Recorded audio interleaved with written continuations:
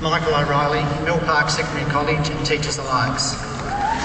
In her report, Mary outlined really clearly why we are here. We are here in the thousands today to send a strong and unambiguous message to the Baillieu government. We are here to demonstrate that we are prepared to fight for state education. We are here to fight for the working conditions and pay of all teachers. That is why we were asked to wear red and why we are marching. We are demonstrating our solidarity and preparedness to fight. We are demanding publicity and a change in government policy.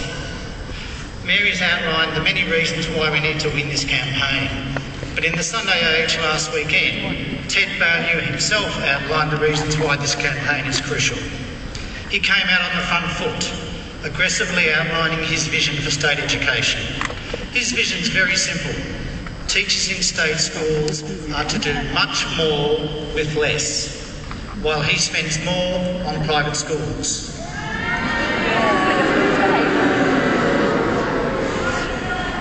I applaud the leadership motion. It's far reaching and comprehensive, but it desperately needs to be strengthened. This is the amendment. It's simply an addition to Part B.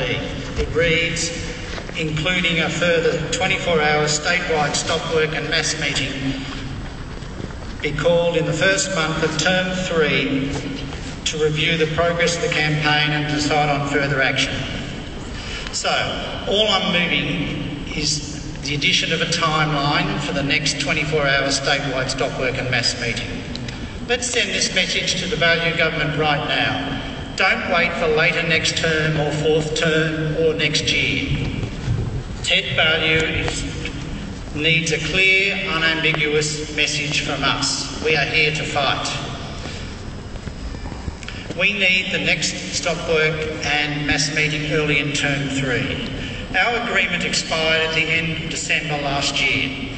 We've sat back and watched the nurses wage their successful campaign against the odds, it seemed. They maintained their patient ratios and one rise is above 2.5%. Their campaign has shown us the way to win. It's time for us to fight. The strategy must be to bring on a political problem for the Baillieu government. We've taken the first step today with this stop work, but we must build on the start. We can't afford to lose this momentum. It's a defeatist attitude to go back to school next term without the date of our next 24 hour stop work. We should give the government another deadline in which to reach agreement, or else we'll be here again early in term three. Let's put the ball back in the government's court.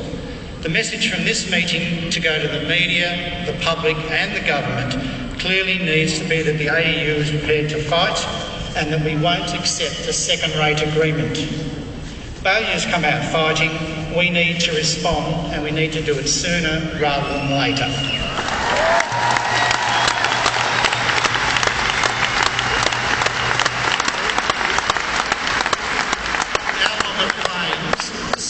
Decided through membership consultation is comprehensive.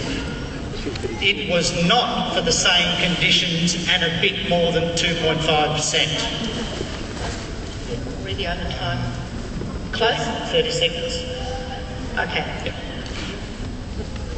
But that's the sort of agreement, it's exactly the agreement we'll get if we don't fight. We need another mass meeting early in term three. The council and the executive needs to have a strategy with a timeline to bring to the mass meeting. By not responding quickly, we are weakening our position. Engaging in a protracted campaign doesn't mean we'll get a better outcome. The best outcome will be achieved by creating a political problem for the Baillieu government. We can't wait for the next state election. That is the sort of political pressure that our leadership is waiting on, waiting for. We can be in charge of our own destiny. Let's show the government how angry we are and let's escalate the dispute. Please support the amendment.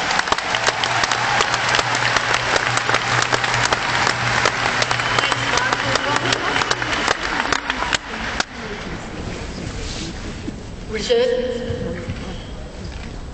Speakers in debate on the amendment. The process is we now debate the amendment, determine its fate before we go back to the, um, the motion. Any speakers in debate? Just, uh, James?